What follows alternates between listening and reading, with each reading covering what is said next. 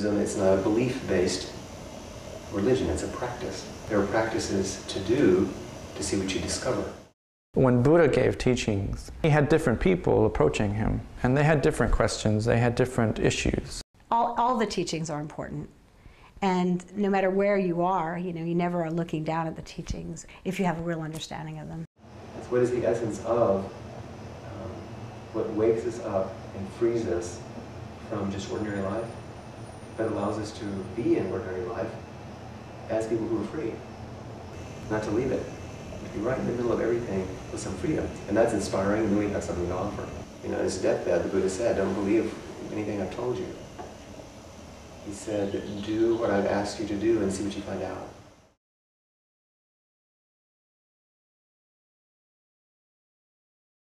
I saw this, there was a brochure, and I was trying to decide what to do for the week. I was just going to hang out, go to the spa, you know, whatever. And um, I thought, well, maybe I'll take a class. There were other classes being offered. My husband was teaching songwriting. And so there was this class called Dream Yoga. And I was like, well, that might be kind of fun. Let's see do I want to get my nails done or do I want to do dream yoga or what? You know, it was kind of like that. And then I saw this Lama who was teaching the dream yoga class, Lama Tarchin Rinpoche.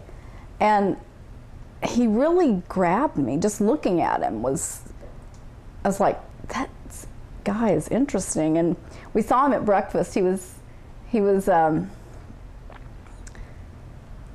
eating breakfast in the faculty lounge, and I was there with with Jimmy, and um, he was just so sweet and so present and so I don't know, I can't really even describe it. But I decided to take the Dream Yoga class. And that was in 97. So after that, I, after the first three hours of the Dream Yoga class, I figured out that I was hooked on Buddhism and I was going to be a Buddhist practitioner. So, and I even, it was, it was such an emotional experience. I remember going like up to Lama Tarchin at this class and and just being in his presence was so overwhelming for me and and I actually actually started crying. I went up to him and I was and all he had taught was just, you know, just the four noble truths basically. And and I went up to him and I was and I said, "So what should I do? Should I go into a monastery or something? You know, should I become a nun? I don't know." And I'm, I'm told, "What do you tell me what to do?" And he started laughing and he said, "You're fine. You know, you're gonna you'll learn more about Buddhism outside of a monastery." and so that's that's how it started.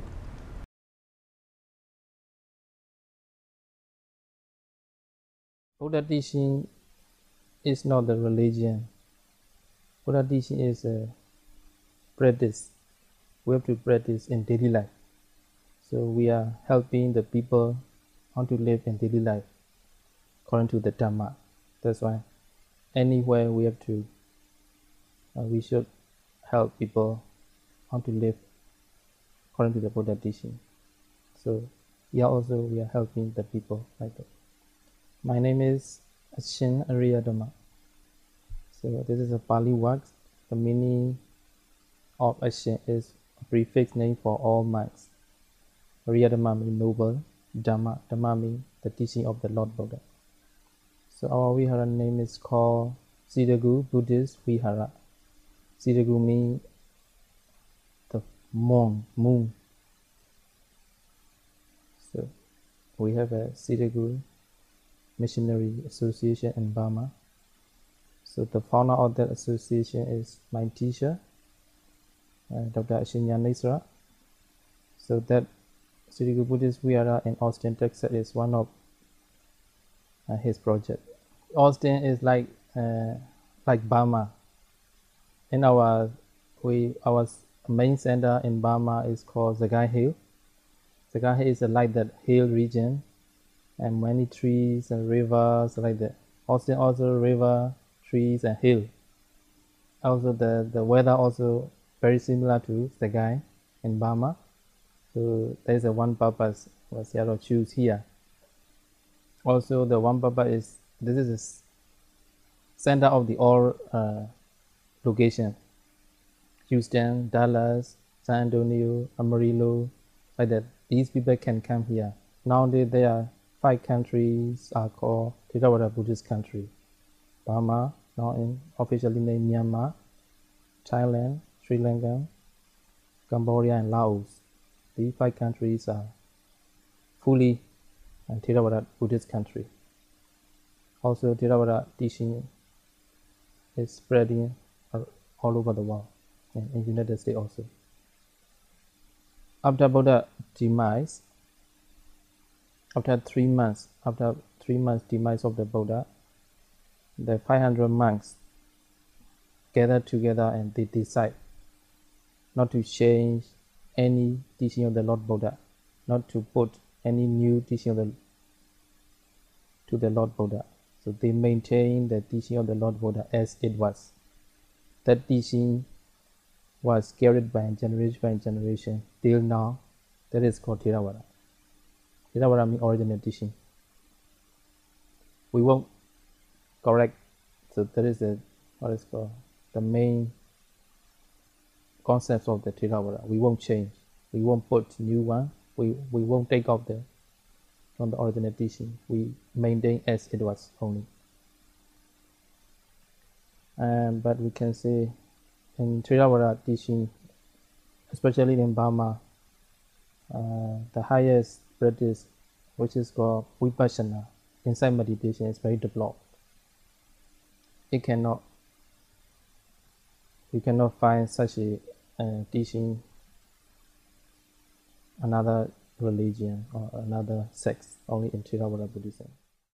through the practice of meditation and you know the four noble truths the eightfold path right view right livelihood right meditation right speech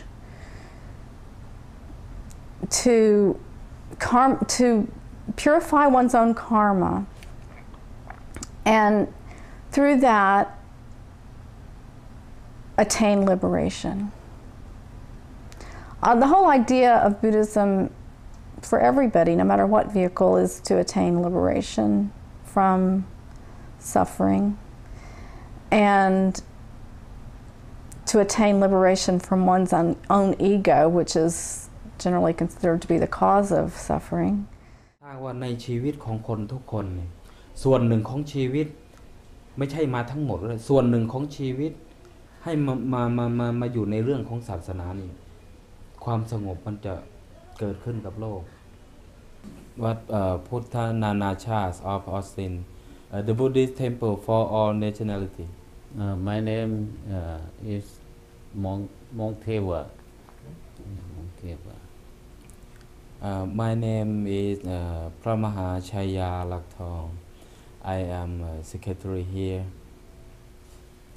โดยปกติว่าคนที่จะมาฝึก meditation ฝึกอะไรเราเราไม่มีสเกจที่ตายตัว คือถ้ามีคนที่มีกลุ่มมีอะไรมา ขอร้องขอให้เราสอน เราก็เมื่อกลุ่มต่างๆมาเราก็สอน ก็มีไทยมีลาว เวียดนามิสคาเมนแล้วก็เม็กซิกันอเมริกัน มันก็มันจะพูดว่ายากก็คือมันมันมีความแตกต่างกัน บอกว่ามันมีความแตกต่างกันอีกอย่างหนึ่งคือเออทางด้านคนไทย ก็ตามคนที่มาอยู่ที่นี่ สถานที่มันจะแตกต่างกันกับประเทศไทย ประเทศไทยโดยพื้นฐานการปลูกฝัง การปลูกฝังเอ่อ วัฒนธรรมเรามีมาแต่ดั้งเดิมเกี่ยวกับพระพุทธศาสนา ทีนี้คนไทยจะเข้าใจพุทธศาสนามาตั้งปลูกโดยปลูกฝังมาตั้งแต่เด็กแต่เล็ก ทีนี้การสอนการนำเสนอเขามันก็จะง่าย แต่ว่าที่นี่แต่แต่ที่นี่โดยส่วนมากคนที่มาอยู่ที่นี่คือละทิ้งมาจากบ้านเก่าเมืองเดิมของเรา ทีนี้มาเจอวัฒนธรรมใหม่ ๆ ของอเมริกัน มันก็จะเลยให้เกิดการแตกต่างของการเริ่มต้น การแตกต่างของการเริ่มต้นที่จะสอนเขาบางคนก็คือ มาแล้วเขาจะไม่รู้เรื่องอะไรเลยคือเป็นอย่างนี้ตามตามพื้นของวัฒนธรรมชาวไทย คนไทยทุกคนคนพุทธไม่ได้เอ่เราหมายถึงว่าวัฒนธรรมก่อนอคนไทยสั่งสอนลูกหลานมาว่า เมื่อเกิดมาอยู่ในเมืองไทยเรานับถือศาสนาพุทธ เป็นเด็กผู้ชายโดยส่วนมากเน้นเป็นเด็กผู้ชาย ถ้าเกิดมาแล้วได้บวชได้ศึกษาตามคำสอนของพระพุทธเจ้าได้ปฏิบัติตามเขาเรียกว่ามันเป็นบุญมาก เพราะฉะนั้นเด็กทุกคนผู้ชายทุกคนใน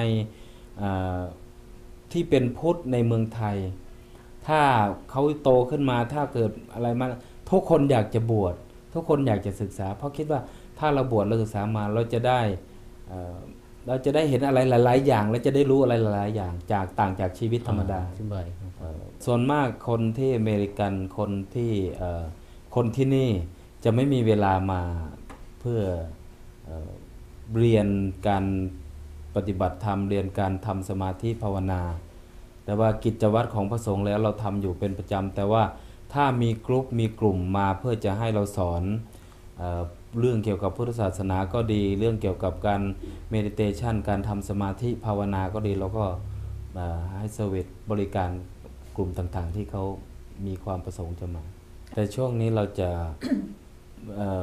มีปัญหาเรื่องเกี่ยวกับการโต้ตอบภาษาอะไรเรายังคนที่เก่งทางด้านนี้ที่เป็นพระสงฆ์ยังไม่มีเเวลาจะมีกลุ่มต่างๆ เขาติดต่อเข้ามา เราก็จะติดต่อหาคนที่จะมาแปลให้ ส่วนมากคนคนไทยพุทธที่นี่หรือว่าคนลาวคนหนึ่งส่วนมากจะรู้จักพื้นพื้นของศาสนา ที่จะเจาะลึกที่จะเรียนศัพท์ลึกๆ ที่จะนำไปปฏิบัติมันเขาไม่ค่อยมีเวลากัน แต่แต่โดยส่วนมากคนไทยที่อยู่ที่นี่เขาไม่รู้เขาไม่รู้จักศัพท์ทางพุทธศาสนาลึกซึ้งเท่าไหร่ก็ต้องยากพอสมควรเทรวาดายุสพาลีลังกิสแต่ทางเทรวาส เทรวาสนี่จะมีเอ่อเฉพาะฝ่ายเอ่อเทรวาสถ้าฝ่ายมหายานจะเป็นภาษาสันสกฤต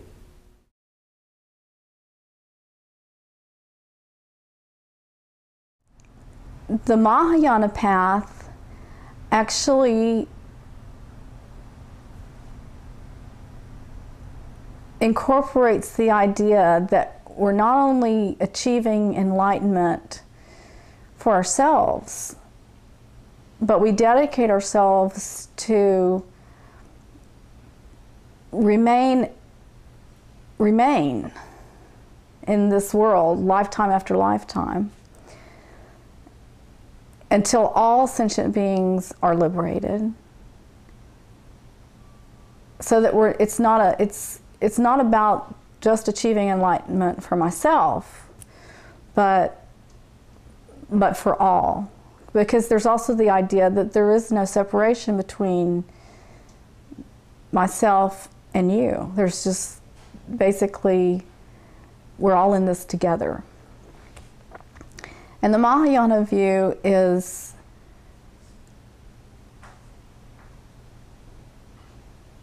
really insistent that compassion for others is part of the path.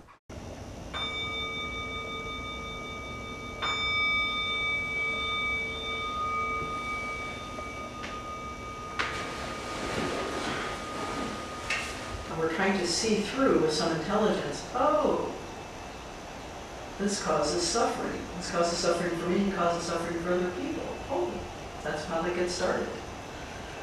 So it's through that um, misunderstanding. It's just like a, uh, talks about this as an innocent mistake.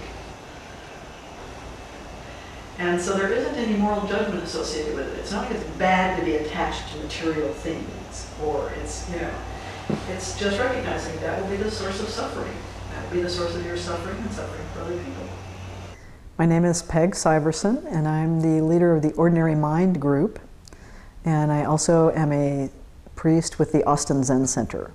Well, the group had a kind of a funny beginning because I had been bringing my son to the Unitarian Youth Group out at Live Oak Unitarian Church. And he was enjoying the group very much, and I would stay for services. And it was a very new, young congregation, and so they were asking members of the congregation to give talks. They couldn't afford a minister yet. And so they, they came to me and they asked me if I would give a talk on the internet because they knew I was teaching at UT in computer network classrooms. And I thought about it and I thought, that doesn't seem very appropriate to me. What if I gave a talk about Joko Beck's book, Everyday Zen, because Joko Beck is my teacher? And they said, oh, that would be fine. So I gave a little talk about Everyday Zen and I introduced a little bit of meditation practice to the congregation so they could feel what that feels like for about five minutes. And then some folks came up and asked me if I would start a sitting group um, out of that congregation. And I explained to them I'm not a Zen teacher and you need to work with a Zen teacher, but I would be happy to ring bells and facilitate just the holding the space. And that's really how we began. This temple and this practice is in the Soto tradition, and you probably know that there are two reasonably distinct versions of Buddhism that are uh, that come from Japan, Rinzai and Soto. And the Rinzai tradition, uh, we sometimes practice with uh, Roko Osho from Syracuse Zen Center, and that's in the Rinzai tradition. And that practice is uh, very vigorous, very uh, strong kind of determined practice, very vigorous chanting. And Soto practice tends to be um, more, a little bit more, uh, I'd say, calm approach to practice, slower kind of process where there isn't striving built into it, there isn't an energetic, muscular kind of striving, but more uh, emphasis on awareness. Rinzai tends to put a little more emphasis on koan practice, which is the study of teaching stories that are intended to uh, provoke or uh, promote breakthroughs or sudden understanding. Soto Zen is a more gradual kind of a practice which doesn't tend to use koans as the center of practice, although they're often used as just general teaching stories. Uh, I think Joko likes to honor both the Soto and Rinzai traditions through the practice of sitting facing the wall um, and then facing the center, uh, slow kinhin and then fast kinhin, and that way they're sort of married. For the most part, both parts of the tradition have, especially more recently, been learning a great deal from each other and involved in each other's practices quite a bit and have adopted practices um, that are common to each, each of the, each other. So I think that's distinction is less severe now, although there's a tradition that comes from a lineage. So for some people who are a little bit um, put off by the formality of the Japanese forms or the strangeness of them, the chanting in Japanese or the many bows and so forth. Um, the ordinary mind group is feels more um, comfortable for them or feels they feel more resonance with that. And then sometimes we have people who sit with us for quite a while and also sit with uh, Austin Zen Center because they enjoy learning the embodiment of the forms. The drum that we use is not obviously a Japanese or an Asian drum, it's an American Indian drum. It's a good thing to have in Texas, in a temple. Once when asked, what is Zen, Suzuki Roshi said, when any religion goes beyond itself, including Zen. Um, and the drum, we don't use very often here because we're not highly formal, despite what you see. Uh, but it's often used either as a timer in the morning before Zazen. It's as if the, the soft kind of sound just like a heartbeat, every 40 seconds for several, for 15 minutes, begins to count people down as they sit and so into Zazen. Uh, as a psychologist, I worked for a number of years with people who were dying, especially cancer patients, uh, the specialty in medical psychology. Two, two things happened. I could see the importance and usefulness and efficacy of psychology and psychotherapy in helping people who are facing uh, severe medical illnesses and life and death issues. Um, but I began to also notice that there was a, a limit to what psychology could offer. And that people were asking me questions and also experiencing things that were beyond that were transpersonal, that weren't just personal. that were beyond what psychology studies. So I was curious about how to help people further. And as I also began to reach my middle age and my own struggles, I wanted a spiritual path that was resonant for me. And I, I didn't really find it in the fully in the Christian framework in which I was raised. That still had some importance to me, but it didn't seem to quite touch the depth that I was looking for uh, in the way I experienced it anyway from my childhood.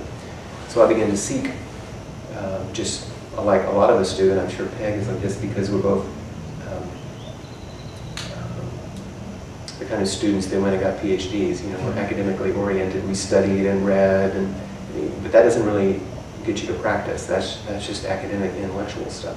But it became incumbent to enter it a little more deeply. So I began to look for a place to practice and found the San Francisco Zen Center to be a place I felt comfortable and a teacher that I really resonated with.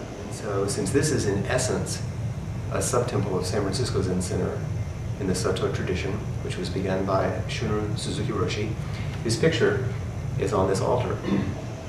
As I was practicing, uh, I had a, a friend who wanted to learn to sit zazen, and he asked if I would help him out. I said, sure, let's, let's sit regularly. Let's, uh, Thursday mornings at 7.30 at my office, how about that?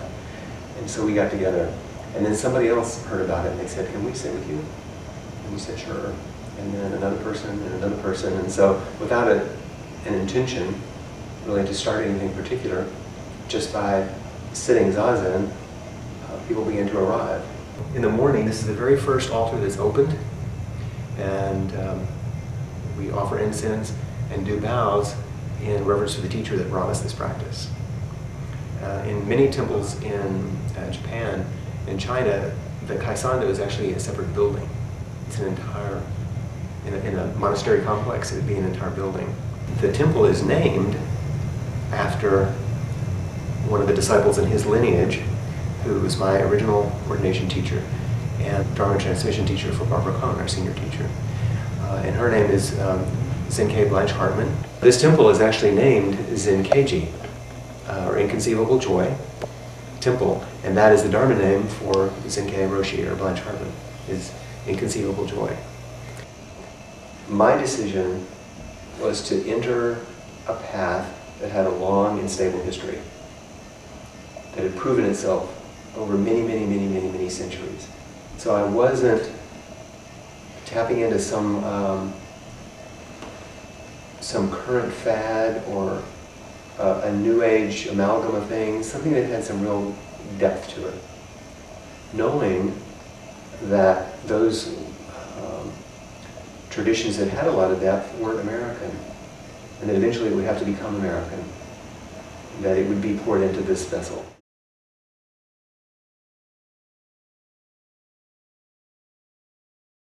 The Vajrayana view takes the approach that our obstacles are part of the path. So basically, the Vajrayana view takes the approach that everything is part of the path. Whether it's our so called negative qualities, our more enlightened qualities, um, our anger, for instance, that that can be a stepping stone to enlightenment. And in fact, I've even heard it said that the more obstacles you have, the greater your chance for enlightenment once you're on this path. Because the intensity of that negative quality can be an impetus for your enlightenment. So the Vajrayana approach brings in all of the visualizations and, and deity practices and um, uses these things for us to achieve enlightenment. And some can some say that, that it's also the quick quicker path where you can achieve enlightenment in perhaps one lifetime. And it's also a slightly riskier path because it's easy to get distracted and misunderstand what the teachings really are. And that's another reason why it's said that, especially with the Vajrayana path, it's important to have a spiritual guide that has is able to guide you and who's kind of been there already so that you're not likely to go off on a tangent and never come back.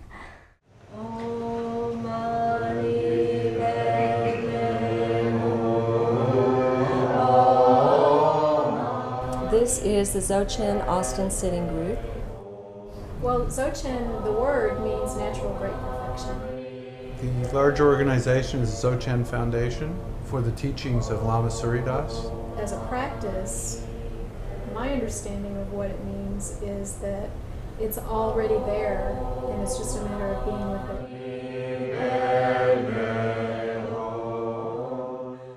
My name is Linda McCarley. I'm Ron Goldman. Denise Montana. Lama Surya received transmission from Nyoshul Khenpo to begin teaching Dzogchen and specifically to come back to the United States and begin teaching here. His uh, given name is Jeffrey Miller, and uh, he likes to say that his he was raised in a Jewish family, and he likes to say that his mother calls him the Dalai Lama. what we have are a lot of regional sitting groups like this around the states where they have regular sittings. We don't have any main meditation centers or buildings. Our four annual retreats are held in two in Garrison, New York, at the Garrison Institute, and two in California. We rent out different facilities.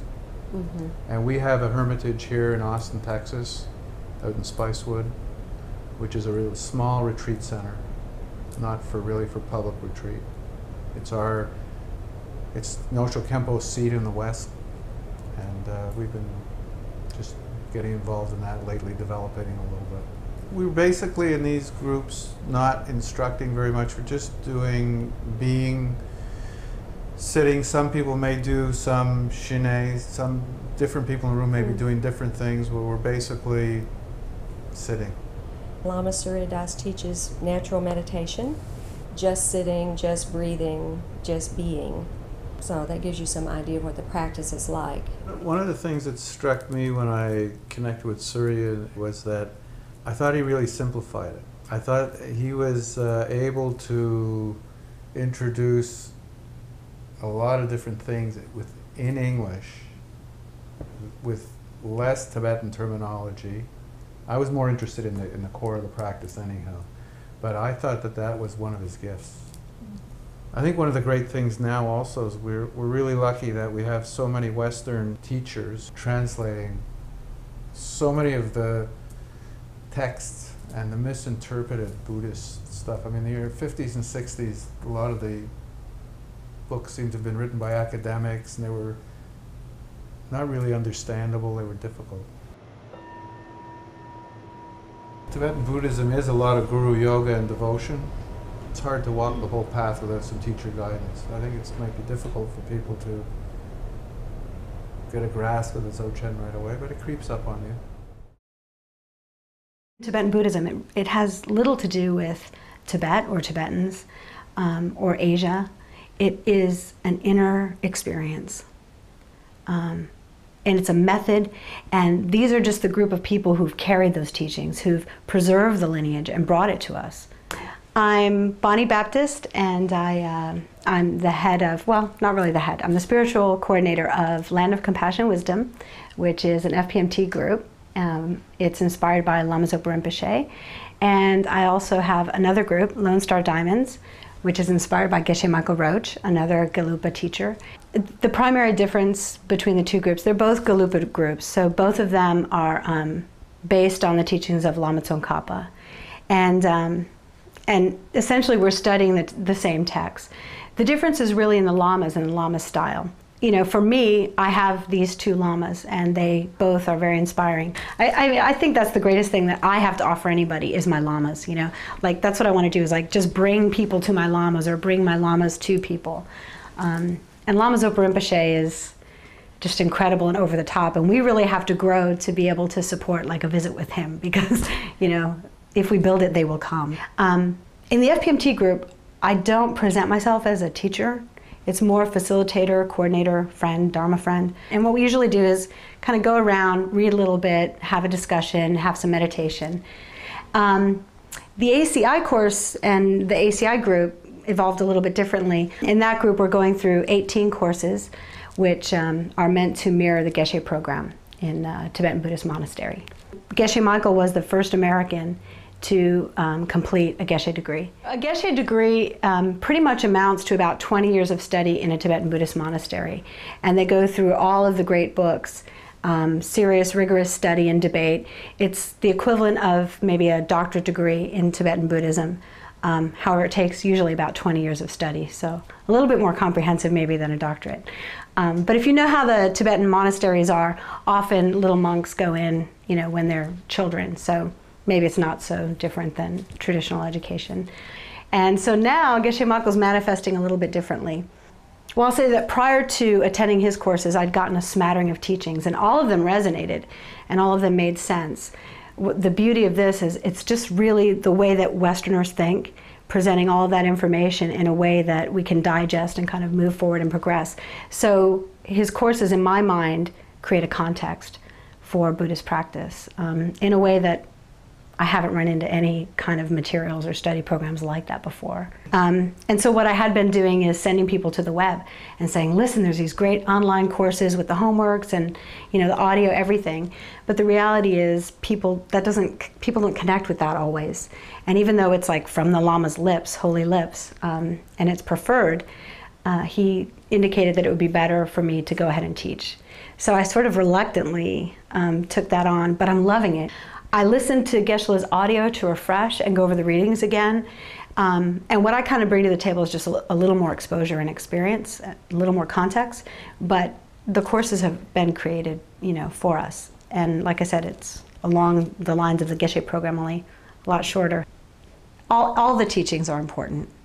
And no matter where you are, you know, you never are looking down at the teachings, any of the teachings, if you have a real understanding of them. So, um, I have this story that I went to, a friend of mine was like, there's this Lama, Lama we didn't know, this is in San Jose, and he's gonna be at this Chinese temple. So we show up at the Chinese temple, and I'd never been there before.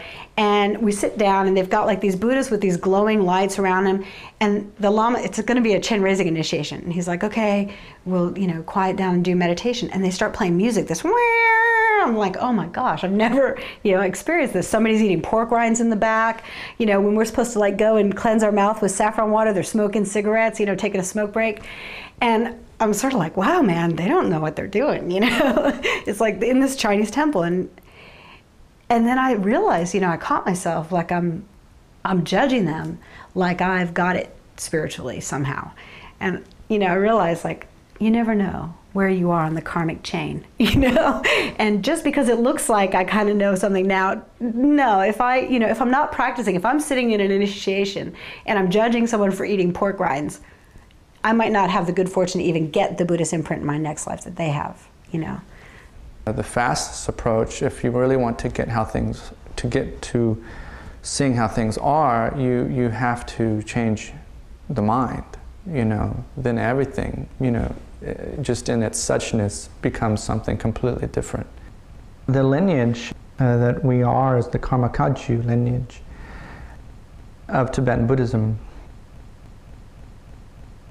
What is something characteristic of our lineage is that uh, we were never, ever, uh, throughout the history uh, in India or Tibet, uh, much about big organizations and and these uh, political structures and stuff. We always have been a lineage of the kind of wild types in the mountains and meditating in caves, you know, for years and things like that. And of course, we don't, we, are normal here, you could say, in, in our society now, but, but, you know, the essential thing is that uh, we still try to have the same uh, view and attitude about the practice um, you know, if we wouldn't be very good example or it wouldn't be very productive for you know our cultures you know to really get anything useful if we just all left and try to go find some rock you know to crawl under and you know meditate forever you know. Of course for some of us it's it would be a joyful thing. In 2002 in March, I was getting ready to go to Siberia and uh, Russia to uh, travel with Lama Ole uh, through um, all the various centers and retreat centers. And just before I left, uh, that was when Lama Ole asked me to, to, you know, in my free time or, you know, in the time that I have available to visit the other centers and, and uh, begin, you know, just uh, supporting the centers and teaching, you know, from the, the teachings that, uh, that we draw from. The style of the teachings, the point of the teachings, they, they point directly to the mind. They're very direct, and it's not really something that is easy.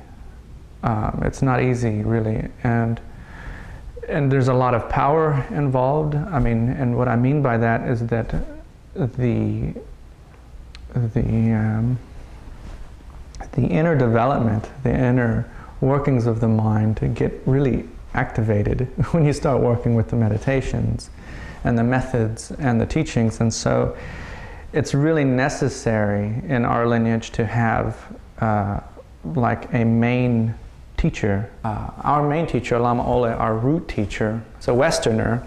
He, um, he and his wife actually had encountered uh, the teachings while on their honeymoon in 68 and uh, going to Nepal.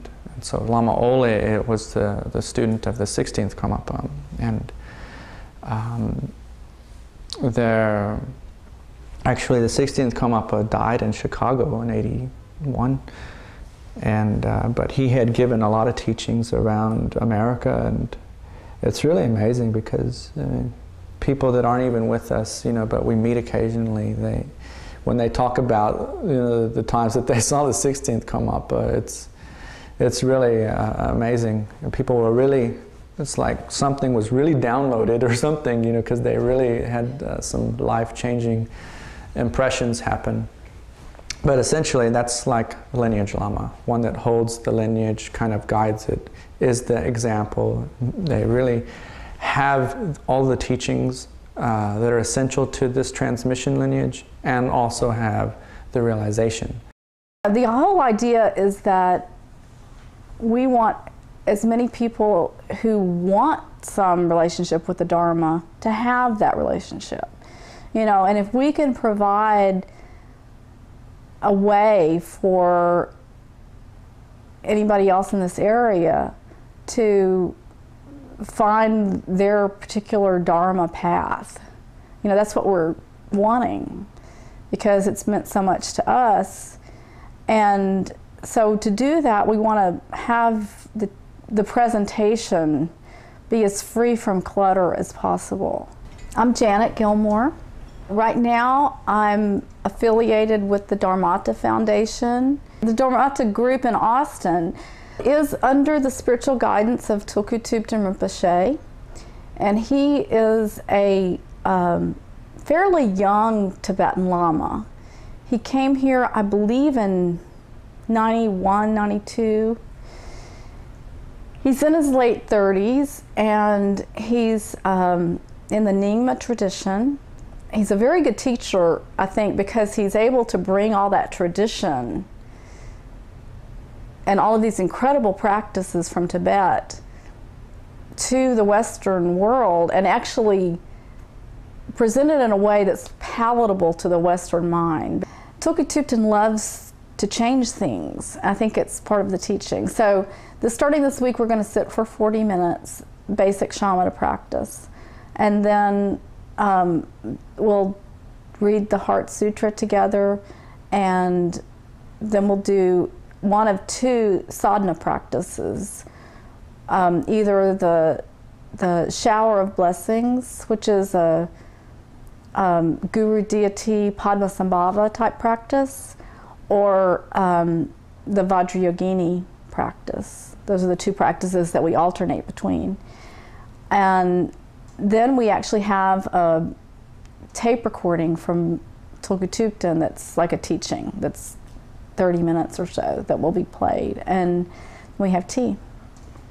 And um, it's open to anybody who wants to come. And we actually have it at this interesting house in in the suburbs that's not somebody's house. It's like an art space. And one of the things that Tulku Thupten said the last time he was here was that you know he commented on the fact that there's a lot of artists and musicians in our group. In Tibet, a, a traditional thing to do to to actually leave your jobs, leave your family, sequester yourself at a retreat center for three years. And since that isn't a for some people with you know financial needs or families it's not practical to do that if you're not able to go to a monastery and study you can actually study with him the dharma apprenticeship program um, it's a program to introduce the fundamentals of, of buddhism and basically takes the student from the Hinayana to the Mahayana to the Vajrayana practices.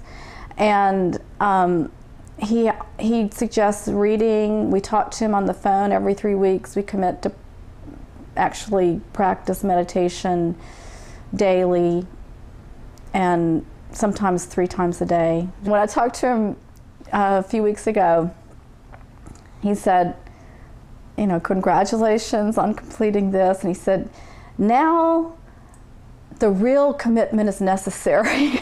now you must really begin to learn. So it's like, of course, the whole life, you know, the practice lasts your whole life. And the Dharma apprenticeship program will last my whole life, I'm sure.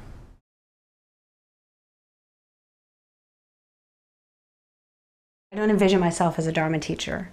Um, I have very good examples of what Dharma teachers are, and, and they have so many qualities, you know, and I'm acutely aware that I don't have those.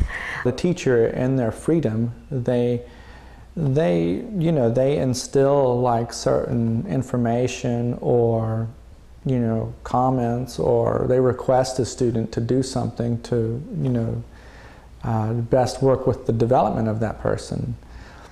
But we're, we're offering this the ordinariness of everyday life, the pieces of it that we encounter moment to moment as we're getting in our car, as we're trying to decide which toothpaste to buy, as we're, you know, as we stand in the supermarket thinking, where did this all come from?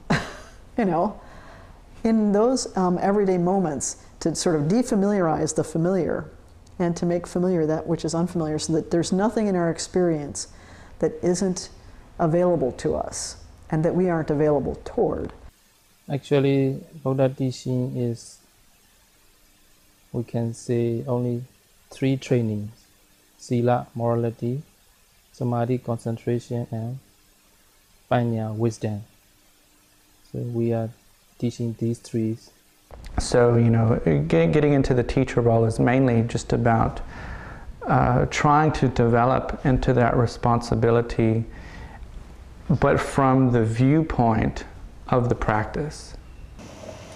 It's, it seems that this is something that instead of um, working towards, like you might a, a degree, or some, it's, it's as if you just offer yourself to the practice fully, and sometimes you find yourself, like we have, because we're just kind of prone this way, I think, to leadership roles, you end up serving, so that in a way, ordination at some point, because of your training, because of your leadership, or because of your aspiration, the, the ordination becomes an acknowledgement of something that's already happened.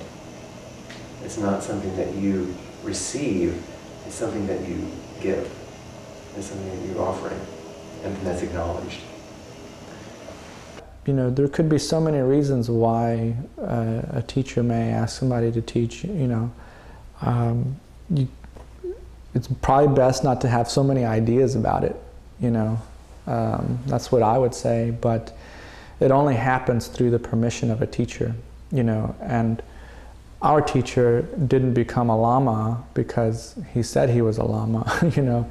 He only became a lama, uh, or like, I mean, there's a meaning to somebody who has a title like that.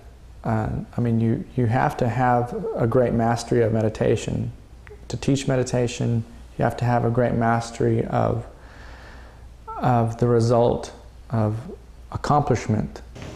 Someone who comes who is a completely dedicated, wholehearted practitioner might be practicing in their own personal practice, almost exactly like I would be practicing or like Peg would be practicing. There's really no difference in practice. I mean, there are some unique things, I would say, in the teaching process because, um, I mean, there's things that you notice that maybe you, you just can't notice unless you are doing it about how people work with their minds and how they relate to kind of a, a teacher person and how some things are very positive and how some things can be very counterproductive to their development. And so from this basis, you, you know, of course, if you, if you don't do that kind of thing, you won't see it so much uh, because you don't get that feedback in your life. You know, but everybody's not looking at you like that. And I think, I really think it's a gift because through teaching, you know, I have to kind of like, I have to be, um, I have to be completely transparent. Those people who take priest vows are saying, I'm a target. So when you notice that I'm not um, uh, fully embodying the vows that I've taken, I invite you to let me know. I invite you to show me that. And um, it's really wonderful. You know, I think it's, uh, I've only been doing it for a couple of months, but I really think that it's, it's helping me personally to evolve. You know, I'm sitting there talking about these holy ideas with people, and um, it's like I'm teaching them, but really what's happening is they're teaching me, you know, and getting the privilege to do that. And, you know, if you believe in karma, I have a little idea of the causes that I'm creating, and it's kind of exciting. So. There's so many things going on, and everybody has so much amazing potential, you know. It doesn't mean that wherever I go, I certainly have like the most knowledge or realization. No, it just, you know, um, but you know, I do have the the blessing and um, request from my teacher to do what I'm doing with the, the best way I can. You know. You know, this Tibetan Buddhism seems to be a little bit complicated. You know, from what I understand in different centers and different teachings, it's just it's a little bit difficult for anybody to teach it. You know, you have all your Vajrayana practices, you have your foundation practices, you have so many aspects of it. And I mean, your experience with your teachers, you see how much training they've had and how many years they've spent Mm-hmm. in deep practice. It's um, it's a chore to train teachers and teachers that get it. And they can Right, and then can teach it. You know, there's probably a good 150 or more traveling teachers that are, you know, uh, students of Lama Ole, and um, you know, the the important point is is that all of these individuals um, have, ex- you know, they only do it because they have express, you know, permission, you know, and they've been asked to do it by by the Lama, you know. So that basically is, you know, how it works with our school. You know, nobody definitely just kind of starts to teach and you know self-proclaim things. Because we're not offering this little privileged experience of enlightenment where you go off to the monastery and bang, a bunch of Kensho experiences. You know, that's not what we're offering. Everything is a bit like you try to recognize like what it is or what's included because nothing really changes actually because everything is still practice you know you, you don't stop being a practitioner and suddenly just become this principle and you don't have to do anything you know like here's this holy cow and that's the principle that I am and therefore I don't have to do anything anymore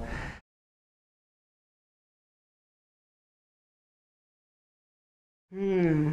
Describe the meditations I do at the meetings. That might be also describing the meditations that I do. I'm offering a way uh, for people to sit meditation as a way to discover something about themselves. It's, it's, it's nice to have, you know, focus where you can just really dedicate your mind's energy and direction solely on meditation. There's really something special about that. I think people do a variety of different practices uh, associated with the sitting meditation. The fundamental practice is shikantaza, or just bare awareness. But for many people, that's a pretty difficult task. So there are some practices that, uh, that are helpful and supportive of people's meditation, including following the breath and um, body awareness practices, uh, different kinds of techniques of concentration practices to help steady the mind. Uh, meditation หลักวิธีการที่อบรมมาที่เรียนมามันจะมีที่ที่นี่ใช้อยู่ 2 วิธี ก็คือหนึ่งวิธีการกำหนดลมหายใจ แล้วก็ 2 วิธีการพิจารณาตามหลักสติปัฏฐาน 4 แต่ส่วนมากเราจะคนส่วนมากจะรู้การกำหนดลมหายใจ เช่น หายใจอออกพุทหายใจเข้าโทพุทโทอย่างนี้ But the primary work that people are doing here comes out of their everyday lives and their encounters with the teacher. So, out of the issues that arise in your life, you might be uh, dealing with a lot of anger, or you might be dealing with some disturbance in a relationship. And in meeting with a teacher and encounters with the teacher, then there are specific recommendations for students around those issues which are most central for them at the moment, and that changes over time. So the practice depends a great deal on that relationship with the teacher. And no matter what practice we're doing, or whether or not you're working with the teacher, we always come back to stillness and silence, to sitting in an upright posture that's steady, um, that allows us to be relatively quiet and relatively still, and cultivate a mind that is open to whatever's happening. Um, it's usually called mindfulness. And sometimes we have to train ourselves a bit in that because our minds is, you know, are a little bit wild. Um, sometimes our people are shocked when they sit down and attempt to be quiet about how wild their mind is. It, it feels a little bit like things get worse before it gets better in the beginning.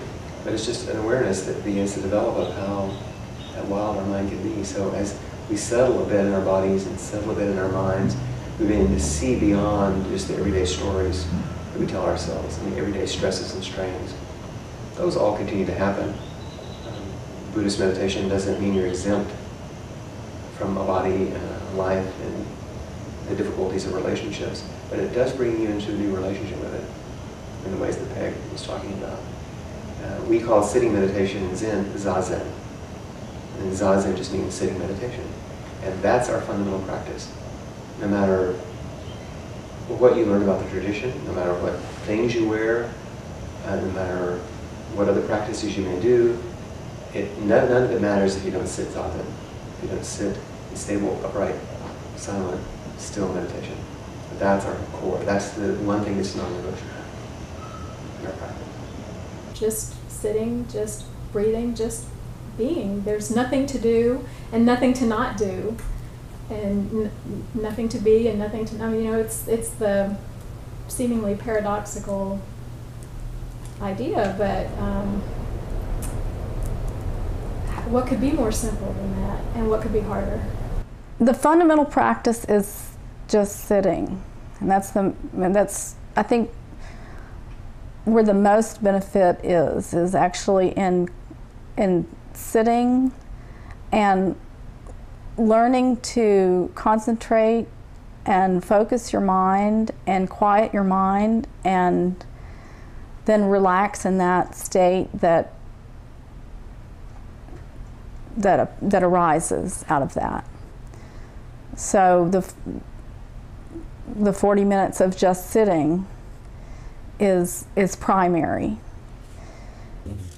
ก็คือว่าวิธีที่สอนง่าย ๆ คือวิธีอานาปานสติ พูดง่ายๆ คือว่ากำหนดลมหายถ้าคุณรู้ว่าคุณหายใจเข้าตอนไหนหายใจออกตอนไหน แล้วก็ใจคุณจดจ่อกับลมใจจดจ่อไม่ต้องคิดเรื่องอื่นถ้าออยู่กับลมหายใจเข้าออกลมแสดงว่ามีสติ จุดหลักๆ ทั้งสองวิธีคือให้มีสติอยู่ตลอดเวลานั่นแหละคือการทำสมาธิ แล้วก็การทำสมาธิไม่จำเป็นเราต้องมานั่งหลับตาภาวนาทุกที่ทุก สถานเราสามารถทำเมดิเทชันได้ตราบใดที่ยังมีสเอิ่มตราบใดที่สติของเราเร็ว แล้วก็อยู่กับตัวกับตนเราตลอด นั่นแหละเรียกว่าการท They talk about Dzogchen meditation being the open awareness practice. So that's talked about a lot too. Openness. Let's see how it's, Lama Surya says 360 degree global sphere of awareness. And um, so cultivating that kind of sense that it's all perfect, it's all right now. You're not missing anything. You don't have to go anywhere. You don't have to do anything, like Denise was saying. So. So the FPMT group, um, usually we close out our meetings with a meditation. Um, often it will be on the topic that we've just discussed. Sometimes it's really just a connecting with the guru meditation. Um, another meditation that I like is Tonglen, which is exchanging self and others. So, and that's a really powerful meditation. So when I don't know, these are led meditations that I do in the FPMT group. So when I don't know what to lead, I'll usually default to Tonglen. It's it's just incredible. So um, we do about 20 minutes, 15 or 20 minutes of meditation at the end, and I think it's a good way um, to just let the teachings kind of dissolve into us and kind of settle into us. You know, these types of methods, like I said, they really, really activate a lot. Um, we it's not an approach where you simply learn, say, to calm your mind. That's it's only a, a, tiny portion of what you you have to work with. You know, then you have to. There are other things that involve really trying to clean one's awareness of of uh, habits of anger and like pride and jealousy and attachment and all of these things. The sadhana practices, whether it's the Vajrayogini practice or the shower of blessings, is uh, it's an advanced Vajrayana practice. And the idea is to invoke and recognize the qualities in ourselves that are enlightened and the idea in Vajrayana, which took me a long time to really understand, is that by visualizing those qualities in this imagined deity, we're actually able to more quickly realize them in our own selves. And so after that, then then one flows with the wish that all the good feelings and impressions and clarities and compassions and power, all these things that were known and seen and are felt right there in meditation, that it streams to all beings. You know, one, you know, tries to extend all the goodness actually to all beings in one's mind, and that it removes their own suffering and causes of suffering and and that they find the real absolute peace and highest joy and, and power by seeing the nature of mind themselves. So this is this is where the meditation flows into daily life with that feeling so that meditation doesn't feel like you know it really ends there and then life is ordinary over here. It, it, we try to bring it into daily life like that on as deep a level as possible until we get to the cushion again. And then, you know, the point being, of course, that at a certain point, you know, there's actually no difference in one's uh, daily life and, and like meditation, and pillow life, you could say. It's one's always, always keeping a high level of awareness all the time.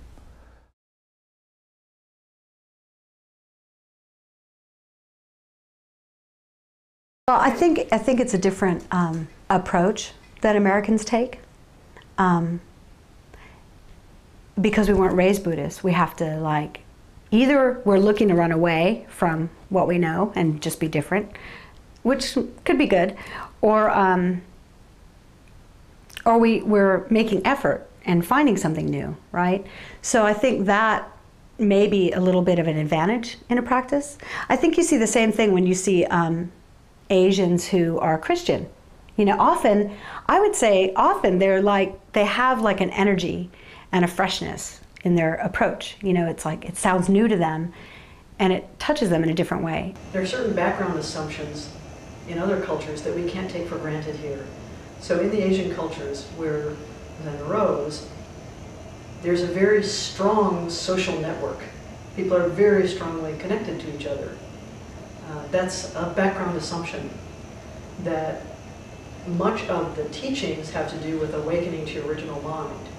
And so there, that piece of it that got ported into this country in the beginning was really uh, resonant with our sense of individuality and uh, that American sense of independence. We don't have uh, much of a monastic tradition in the culture. And the monastic version of Buddhism evolved. It's not the core of the primary original teachings either. Um, those were wandering monks and teachers who would gather, you know, once a month for a full moon ceremony and for repentance, and then they would scatter and teach. Um, so the monastic model arose really um, in China, where uh, the monks, there was no tradition of mendicant begging monks. You know, Chinese are like, get a, get a job. I mean, they're much like American culture. Like, you want something, work for it. I'm not going to, you know, put things in your begging bowl. So monasteries were developed so that um, monastics could support themselves. That's what, what had to happen. Yeah, here it's a little bit difficult because the situation is different. So we cannot follow all Vinaya rules here. Suppose in Burma we used to go for alms round every morning, you know, using the bowl, and we go house by house. People offer spawn by spawn. So after many houses we run we have a more than enough food. This is our tradition. Here we cannot do like that. How we can do here, I drive a car, I pick up the food in the evening. well, in the United States we have a kind of a different tradition, um, a different culture, and a different way of thinking. It's very individualistic, for one thing. you know, Americans are very unique in that they're always moving around every place, every state, and work and school and all kinds of things. And it's a work, work, work society, much more so than Europe, actually. I mean, you, you hear about the vacations they get over there, and it's very different than what we have here. So the real, I think the real gift of, of pr Buddhist practice in the West is to teach Western culture about the significance of Sangha, um, the, the shared aspiration and the synergy in your practice that emerges when you're practicing with other people who have this shared aspiration, where you have actually an explicit, not just permission, but expectation that you'll work together. That, I think, is a great gift, but it's going to express itself a little bit differently than in the conventional, traditional models that we have from Asian nations. So, this is being worked out now, and it's being worked out not just here, but everywhere. Um, and all Zen centers, all Buddhist practice places are wrestling with okay, we have this culture, people have families, they have jobs, they're not going to walk away from those things to join a monastery, much as they may wish they could um, because they have commitments and responsibilities, and we want to make it clear that Buddhist practice is well situated in those responsibilities and everyday um, kind of activities that people are engaged in. So right where you are is where your practice is. So in the early days of Zen in America, there wasn't as much emphasis put on the role that Sangha plays in supporting practice and supporting the, the work of liberation that's a piece that I think is very important for us to foster and develop in really situating Zen in a Western culture. We can't have that background assumption that the culture's quite quite connected, that people are quite connected to each other. ส่วนมากคนที่มาจากเมืองคนที่เป็นชาวพุทธมาจากเมืองไทย เราส่วนมากที่พูดจะเน้นถึงว่าคนไทย พอมาอยู่ที่นี่ we are interested in the meditation here in Westerners. So they first they came for meditation. After meditation they are very much impressed in the teaching of the Buddha and other than they learn about the Buddha teaching other than they go back to the Buddha scripture other than we can teach the scripture for the test. So first meditation first later. So we can say practice come first, theory come later here. In Burma, theory come first, practice come later, like that. Suzuki Roshi, who started the San Francisco Zen Center, came to the United States in 1959, before any of this stuff was really going on here. But he found that Americans were really interested in practicing deeply. And in Japan, regular, everyday folks don't practice. The priests or the monks practice in the monasteries, and the lay people support the priests. That's the Asian way. Uh, but, the, but the lay people don't practice in a way like sitting zazen and doing this. So he found that Americans were interested in that, and that fascinated him. Because actually, for him, it was new.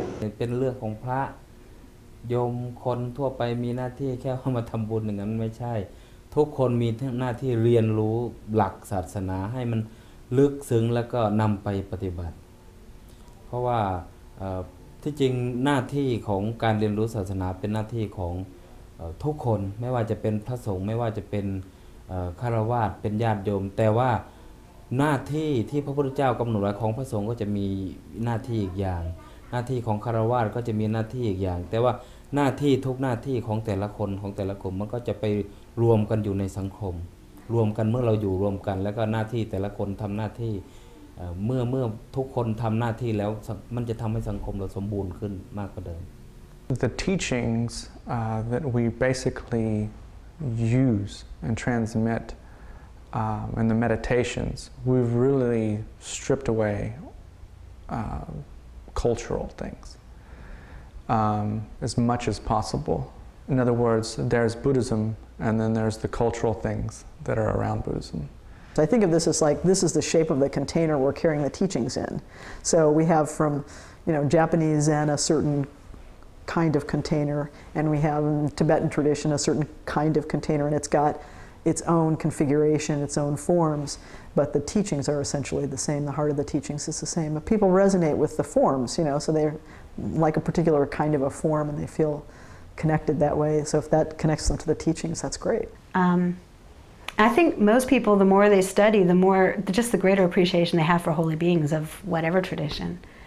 And, um, but still, to try and do it all, uh, life is really short, you know? Pick the practices that work for you and kind of focus on them. I think that's good advice.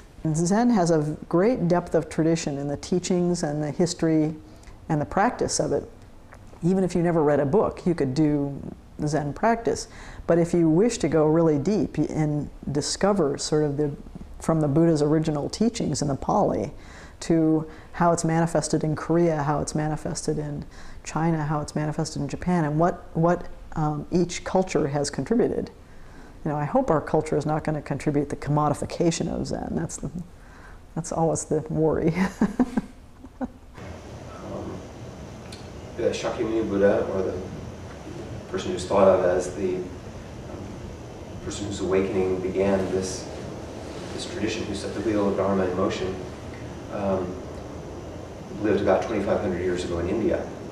And so there's part of that tradition that over time became pretty much extinct in India.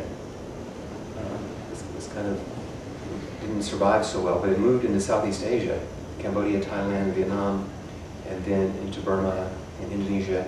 And that still exists today. It's the Theravadan tradition. Uh, it's the tradition of the elders, sometimes called. It's very much more similar to that original form of Buddhism that came from India, with its um, cultural flavors that comes to each country moves into. Buddhism sometimes is talked about as um, it takes the shape of the vessel into which it's poured. And uh, traditionally it takes about 500 years in each time. So then it moved also through the Himalayas into China, uh, like I said earlier, combined with uh, Taoism, and that became Chan in China, or Zen. And then that moved into Korea and Japan. Uh, also, as it moved through the Himalayas, some of it stuck there, and then uh, blended with the Bon, B-O-N, which is like a shamanistic kind of Himalayan religion, and that became uh, Tibetan Buddhism. Interestingly, that particular form, because of the geographic isolation, um, sort of um, took on an enormous um, uh, flavor of the particular place and the people and the history and incubated for a long, long time all by itself and became a very powerful, very beautiful kind of lineage. But when it came to the West, it was very quickly uh, recognized that a lot of things just aren't going to function in the West if you try to bring stuff over. In the West, we kind of require a kind of like, um, you know, we like to know what we're doing, you know, for one thing. And if you didn't translate certain things, you know, and you're just mumbling Tibetan stuff, you have no idea what you're mumbling, it, doesn't really help. You know, if you, if you have a lot of things that are just like Tibetan culture things, then you, you wind up with people who are taking refuge in cultural things rather than taking refuge into the essential point, which is, you know, the enlightened state of mind. This is one's real refuge, which is one's own fundamental ground, you know, of, of, it's their own mind. This is what you want people to be resting in and solid about.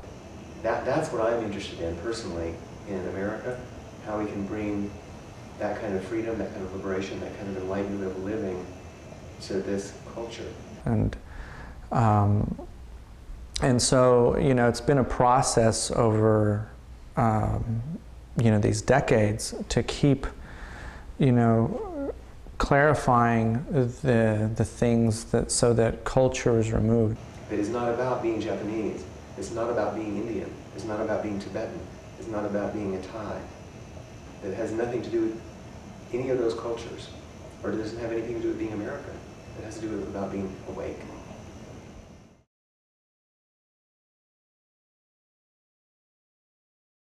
When I was living in New York City, I became interested in Buddhism about uh, 15 years ago. And uh, I saw an advertisement uh, from a, a, a, Chan Center, Zen Center, Chinese Zen Center uh, in Elmhurst, which was the place I was living in in New York City. Uh, it's about five blocks away from my house. And the, the, the, the teacher there was uh, Chan Master Sheng Yen, who's a very famous Chan master. So I was very fortunate to study with him.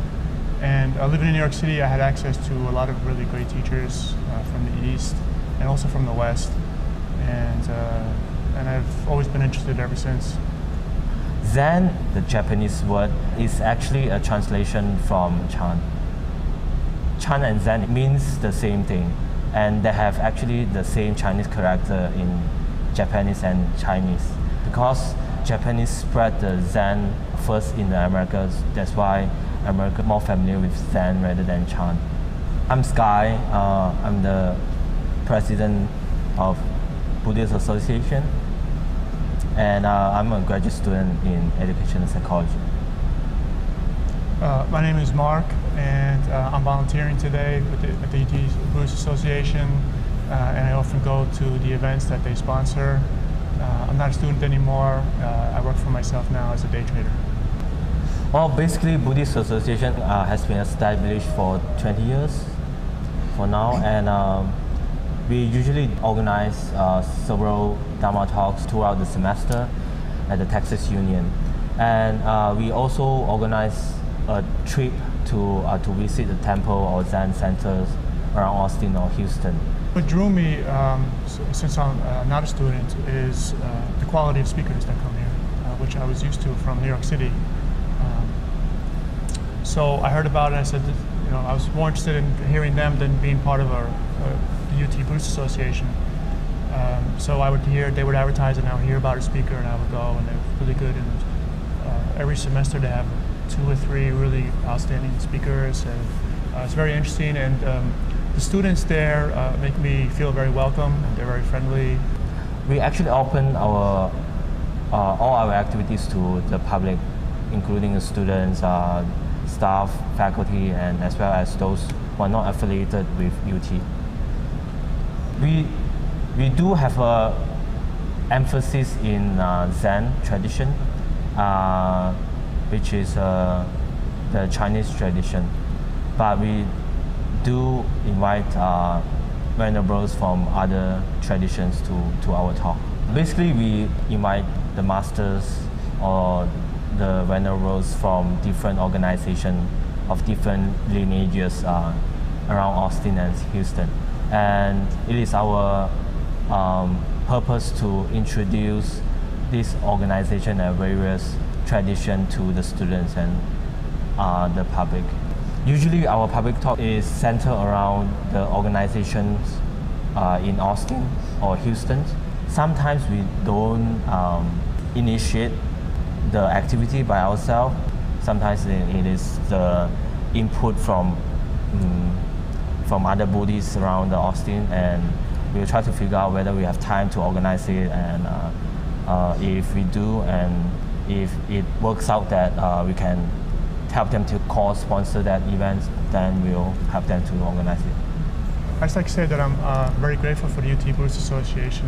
Um, I have access to other schools uh, in town where they have highly qualified teachers and also where they sponsor teachers from out of town to come and speak. So I take advantage of that. And But this is just another opportunity for me to meet with um, very good teachers and also uh, uh, serious practitioners.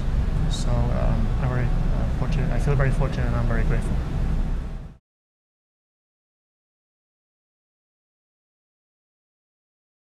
I, I think one of the you know challenges that Westerners have is this aversion to our own spiritual paths. You know, it's almost like um,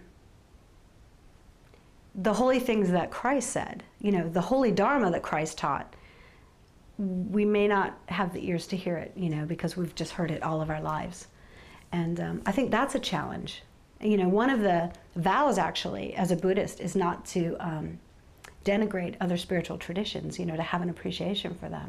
ไม่ไม่จำเป็นที่วัดก็คือให้ทุกคนสนใจทางด้านศาสนา ด้านคำสอนของศาสนาไม่ว่าจะเป็นคริสต์ไม่ว่าจะเป็นพุทธไม่ว่าจะเป็นอิสลาม ไม่ว่าจะเป็นฮินดู ถ้าทุกคนยึดมั่นในคำสอน ยึดในหลักของศาสนาแต่ละศาสนาเราไม่ได้หมายถึงพุทธอย่างเดียว แล้วก็ทำให้ถูกท่องตามหลักศาสนา ความวุ่นวายมันก็จะไม่เกิดเหมือนกับทุกวันนี้ เพราะว่า นำศาสนามาแปลงกันผิด So we have a fair number of people who are, um, some of them will call themselves recovering Christians, and some of them are active, but they're active in a contemplative practice. I mean, they can see the tremendous benefits. And as we say, there's nothing secret about what Zen offers. It's an open secret.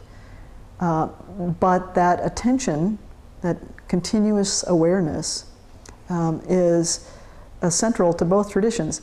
The aspiration is the same. The frame is different in which it's expressed. The woman whose place we're practicing at, um, her,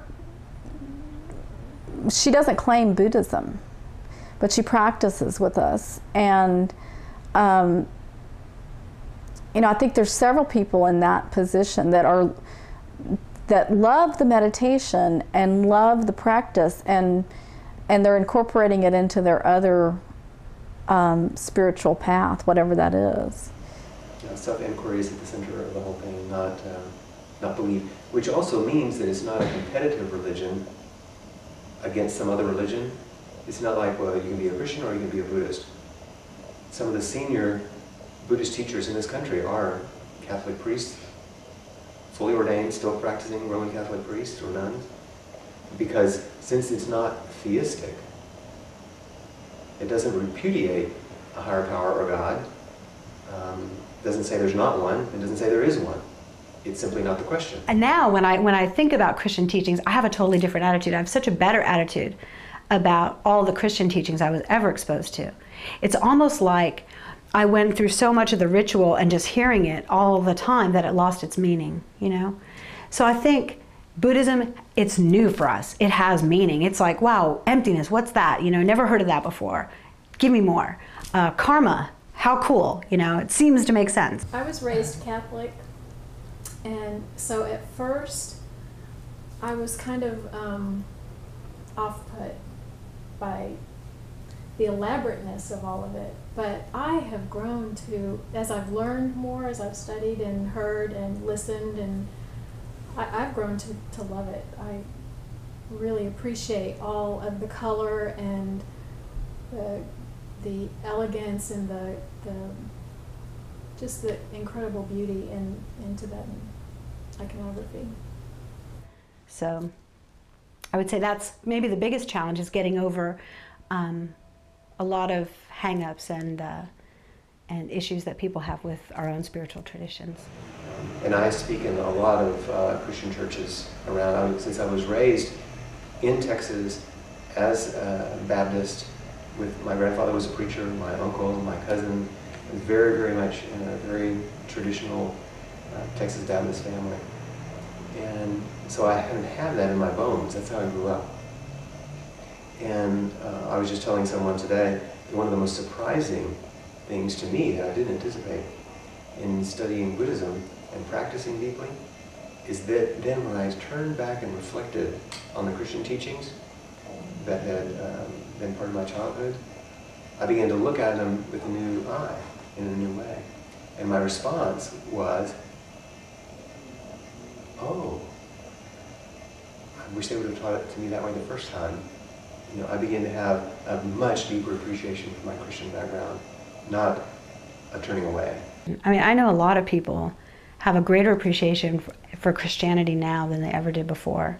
And I'm sure, you know, I'm very acutely aware when that that could be heretical to a Christian, you know, and I don't want to come off as like some pious know-it-all Buddhist who's like, let me tell you what Christ meant. You know, it isn't like that. Um, but it's like, what does it mean to me? So it has greater meaning for me. I'm asked to speak in lots of Christian settings as sort of a translator uh, between the two because I kind of speak both languages and I really enjoy it. It's a, it's a very nourishing thing for me. I think the Christian traditions are starting to recognize the significance of meditation practices that Zen has always offered. So they're curious, and I think many Christian churches and believers are now increasingly drawn to contemplative practice, centering prayer, uh, various kinds of meditation. So I'm curious about it. And we have people who have come out of sort of New Age traditions, and the the difficulty, I think, with people who've sort of explored all the New Age experience, the difficulty for them is that they've come to recognize that the New Age experience is about this deep. You know, after you've done work with crystals so far, I mean, yes, you can study crystals forever, but uh, but there isn't much depth there. And Zen has a great depth of tradition in the teachings and the history and the practice of it. The Buddha was only interested in suffering. He wasn't interested in metaphysics. Now, the way in which Buddhism has developed in these different cultures, there are different things that are tied in. But Buddhism is not about whether or not there's a God, what happens after you die, what's the meaning of life. It's about response to suffering. And so there are also some of the very most senior teachers in the United States are practicing Jews. You don't give up one then to become this other thing. It's irrelevant about being a Buddhist. And some people talk about Buddhism as the most psychological of religions, or even the most religious psychology, because it's a self-inquiry process of working with the mind to see how we create suffering for ourselves and for others, and how we can of that kind of suffering.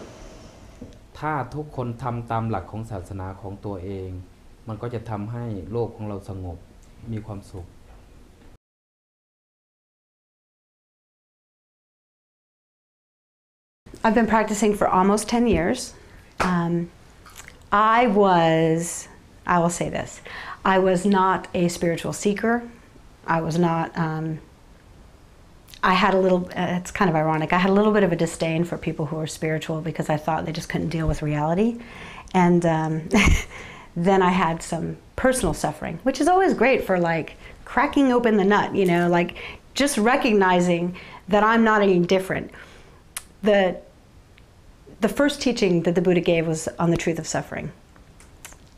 And I was 30 years old before I really got that in my own life. Not as Buddhist teachings, but just my own experience. I always thought I was smarter, um, more flexible, adaptable, that, you know, I'd suffer, but there was like a real finite amount of suffering that I personally was going to do. And then I fell flat on my butt multiple times and actually found myself. Um, going through this depression. Even that didn't make me look for something spiritual. So I still wasn't looking for anything spiritual, but I had been kind of broken down. So my sense of self and just feeling a little bit more vulnerable.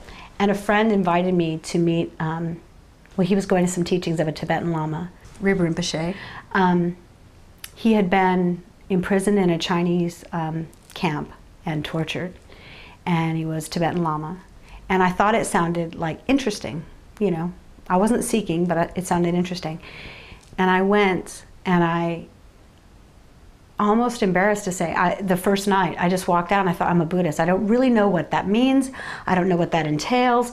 But that guy you know everything he said felt like everything i felt and ever thought. And he was incredible. And like the americans a- after the teaching you know nobody interrupted the teachings but afterwards it was question and answer time. And all the questions were about the prison camp, you know, what was the torture like and how bad was it? You know, this is where our minds are. You know, it's almost like, I don't know, one of those programs. We want to get like the dirt, like what was it like? And he just said that they were his greatest teachers. And His Holiness often tells a story about um, a monk who was in a Chinese prison camp. And he was talking to the monk, and the monk said, You know, one time I was really in danger. And His Holiness asked him, you know, he thought, well, what happened? And he said, yeah, one time I almost lost my patience. One time I almost lost my compassion.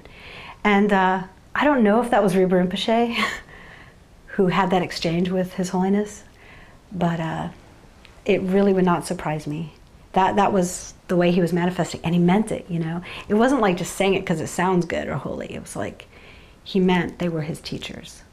So I like to think that that story was about Rinpa Rinpoche. I don't know for sure.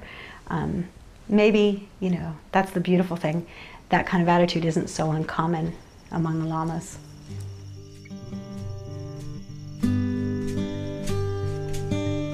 May my mind turn to others.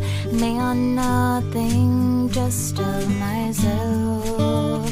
May my mind others. May I not think just of myself. But when I do, may I hold my heart in tenderness. But when I do, may I hold my heart with both hands, just like I hope to hold all